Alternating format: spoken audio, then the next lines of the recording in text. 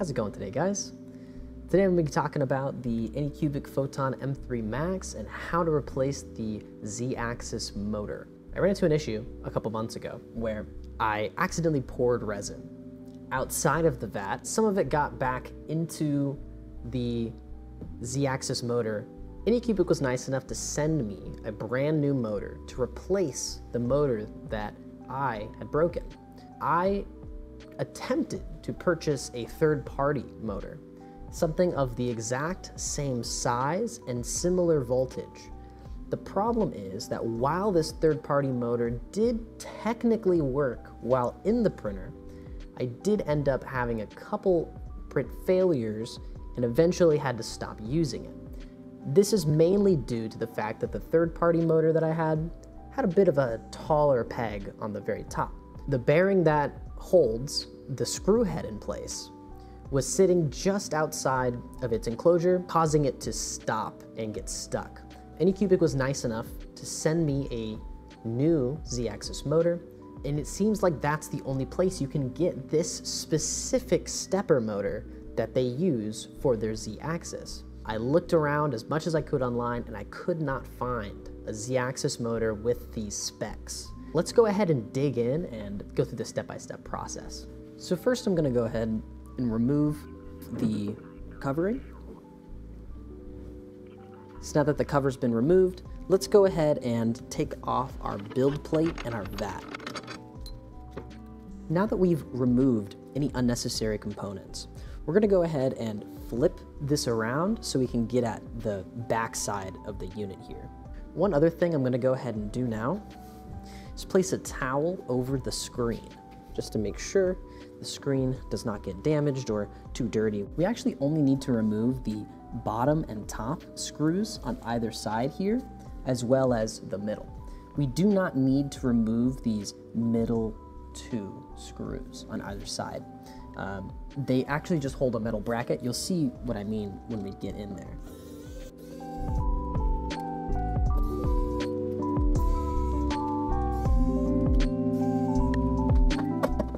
Is a cord attached on the backside, and it just unplugs straight out of that white piece there. That is your controller for the auto feed system. The next thing I'm gonna go ahead and do is pull this cord out from the actual motor itself. So now the motor has been disconnected. And what we wanna do is we wanna get at these screws that are inside these small two slits that are just above the motor. Um, the problem is it's very difficult to stick anything into those slits to be able to actually get at the screws that are inside of here. So what we're gonna do is we're actually gonna remove these two screws. They're a bit longer than the ones that we've pulled out so far, but they're what holds this whole block in place.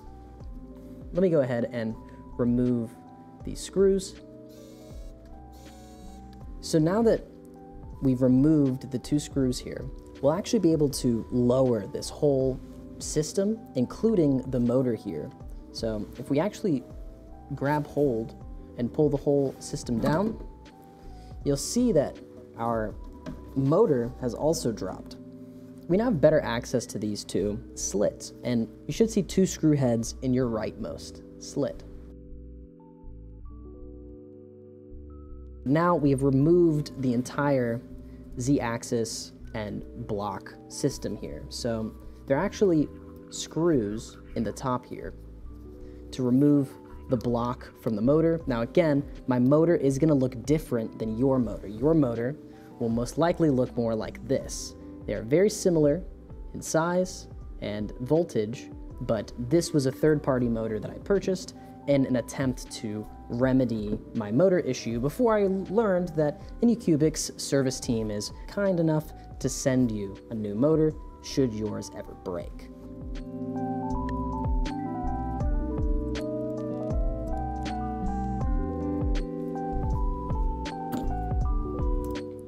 You can see we have our block now separated from our motor. We do have this little bit on the top here, which also just slides right off. We'll set that aside for now. We now have these three separate pieces. Now, you can see here what I was talking about when it came to the uh, previous motor, third-party motor that I purchased, has a bit of a longer top piece. You can see it there very clearly. And that difference alone, I believe, is why this motor itself didn't work. Now, if I was a competent miller, perhaps I could have shaved down that top piece, but unfortunately I don't have access to the tools nor the experience to truly do that. So for now, I thank Anycubic for sending me their own motor. I'm gonna do a little bit of cleaning on these components and then we'll install the new motor. Make sure to remove the screws from your block so you don't lose them. So now that our components have been cleaned, we're gonna go ahead and reassemble them. So I'm just gonna go ahead and take this little clamp piece here.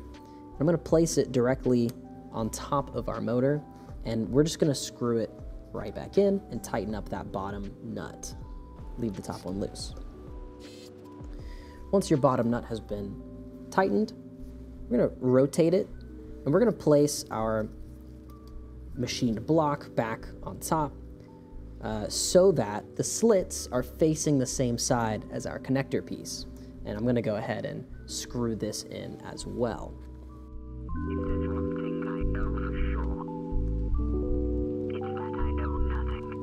Okay.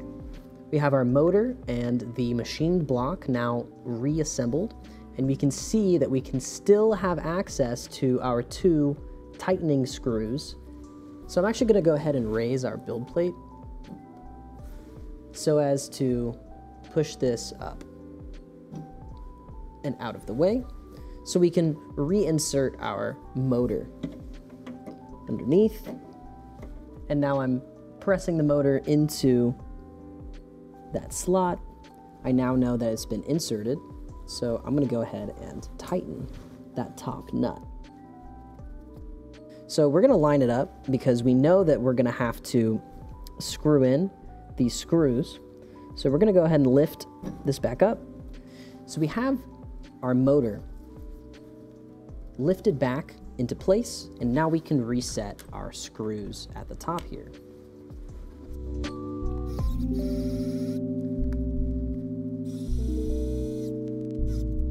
Okay.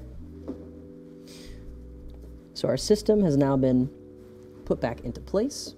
We're gonna go ahead and plug in our cord here with the bracketed side facing up. Now that's been reset and we're pretty much done. So I'm gonna go ahead and place this back panel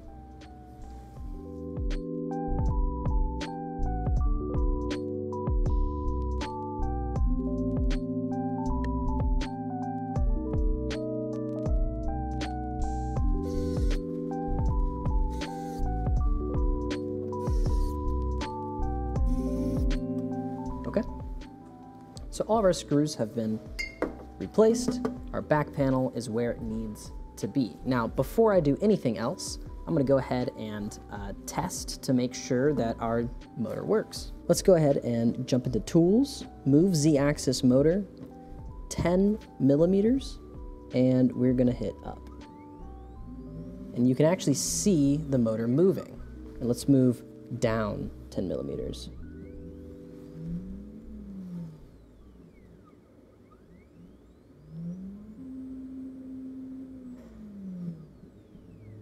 Okay, so releveling the build plate is super easy. We're just gonna grab our Anycubic leveling paper.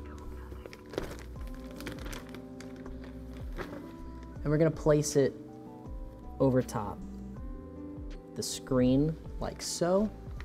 And we're also gonna go ahead and take our largest hex and just loosen the build plate. Okay, so once your build plate is loose, go to Tools, move Z. So I'm going to say home. So I'm going to home the build plate, and it's going to send the build plate down onto the leveling paper.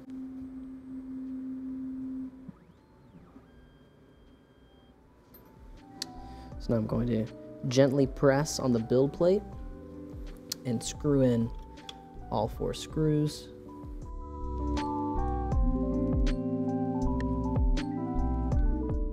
Once our build plate has been tightened, we're going to set z equals zero, enter, enter, and it's going to raise back up. At this point, it is safe to remove your leveling paper, and I like to store mine back in its original bag to ensure that it is nice and clean.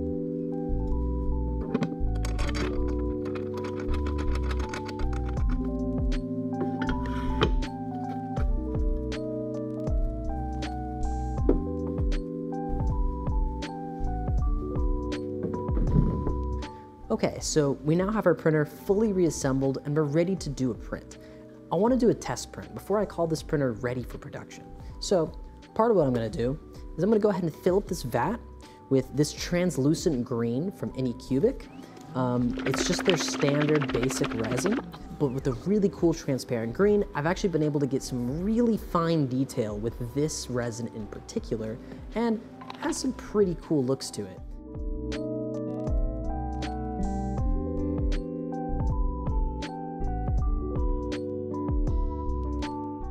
Well, I think that's going to conclude it for this video today, guys. Make sure to leave a like, uh, subscribe, because I'm planning to do a lot more videos like this. And I feel like this is a pretty simple and easy mistake for people to make. And it's definitely doable at home if you have the tools for it, especially because Anycubic provides you with the properly sized Allen wrenches, and they're nice enough to replace the motor should you need it. And it's a lot easier than sending off your whole printer, especially with a printer of this size. Um, so anyways, I hope you enjoyed today's video. If there's anything else you need to know or would like to see about this printer, feel free to leave a comment and I'll catch you guys in the next one.